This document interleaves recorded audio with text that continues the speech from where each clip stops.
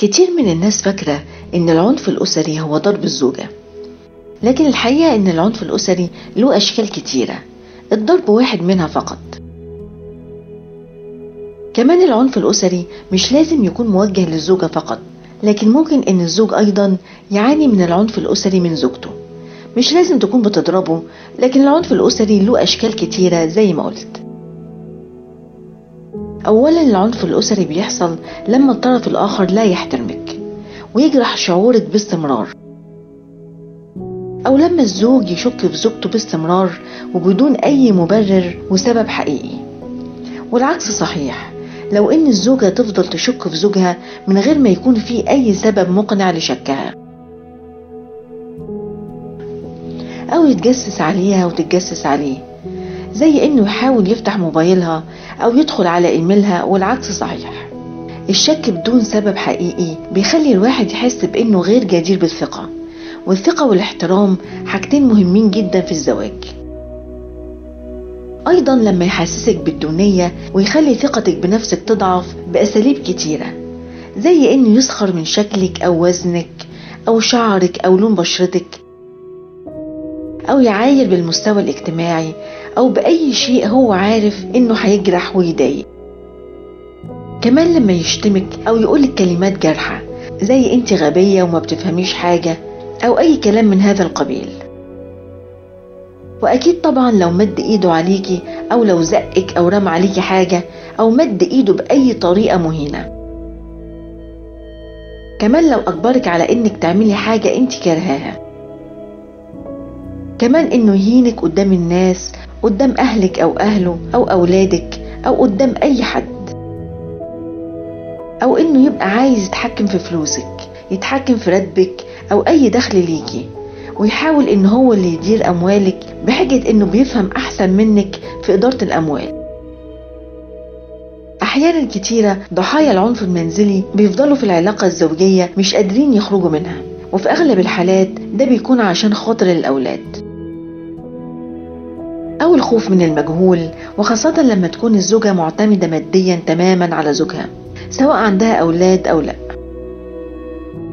أو الخوف من ردة فعل الزوج وإنه ممكن يرفض يطلقها أو إنه يبهدلها في المحاكم لو أصرت على الطلاق. أو ينتقم منها بطريقة ما يعني المشاكل المحتملة لو حصل طلاق. فبتفضل إيثار السلامة وبتختار إنها تستمر في الزواج. أحيانا أيضا ضعف الثقة بالنفس والكسرة اللي اتكسرتها من سوء المعاملة بتخليها تخاف تاخد خطوة زي دي.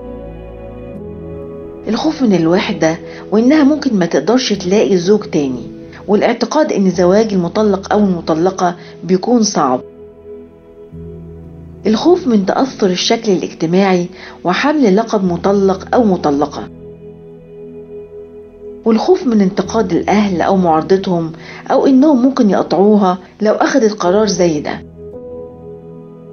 بعض الزوجات بيفتكروا إن سوء معاملة الزوج لزوجته ده شيء عادي وإن مفيش راجل عدل وإن كل الستات بتعاني من أزواجهم بشكل أو بآخر.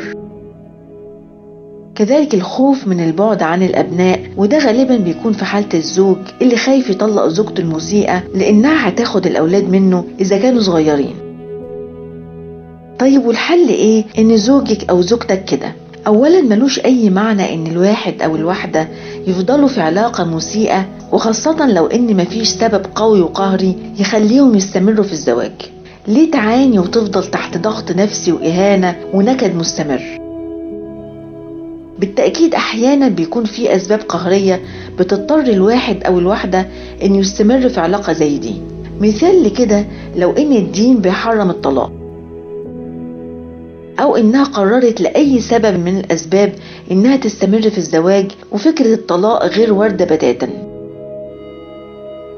طيب إزاي الواحد يتأقلم ويتكيف مع وضع زي ده؟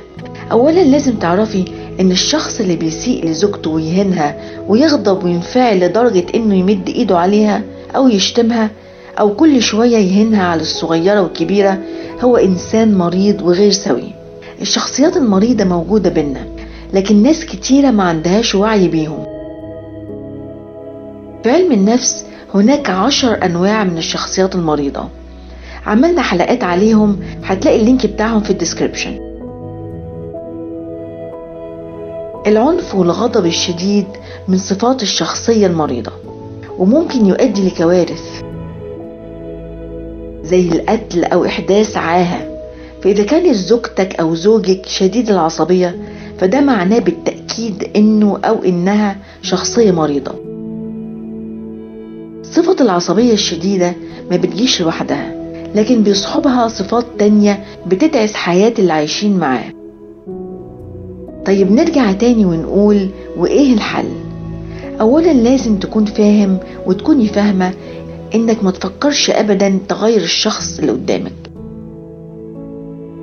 الصفات الأساسية للشخصية بتكون إلى حد كبير ثابتة والتغيير إذا حصل فبيكون قليل.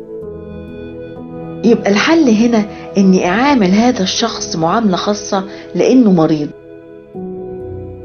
لازم تحاولي تفهمي الشخص اللي بتتعاملي معاه. أحاول أفهم إيه اللي ممكن يثير غضبه وغيظه وأتجنبه. كمان أحاول التعامل معاه في أضيق الحدود وللضرورة فقط. لأن التعامل والاحتكاك الكتير بالشخصية المريضة لن يجلب سوى المشاكل. أحاول أسعد نفسي بعيد عنه أو عنها مثلا بتكوين صداقات. وأشغل عقلي بحاجات بحبها وتكون مفيدة. أحاول أشتغل وأعمل فلوس لنفسي علشان أستقل ماديا. كمان عدم أخذ الإهانة بمحمل شخصي أبدا. لأن الإهانة اللي صادرة من شخص مريض ليست إهانة حقيقية موجهة ليكي لكن في نفس الوقت ما تسمحيش ليه إنه يهينك وتسكتي. لازم تدافعي عن نفسك. لازم تعترضي وتفهميه إن شيء زي ده غير مقبول. وإن هو بالتأكيد مش هيقبل على نفسه لو عملتيه بالمثل لو شتمتيه أو أهنتيه أو جرحتيه أو ضربتيه. ما تقابليش الإهانة والإساءة بالمثل. حسسيه إنه قليل وصغير قوي عشان مش عارف يتحكم في نفسه وانفعالاته. كوني أنت الأكبر والأعقل والأحسن أخلاقا لكن بالأدب وبدون عنف فهميه إنه غير مسموح إن ينتقدك أو يهينك أو يجرحك بأي شكل من الأشكال.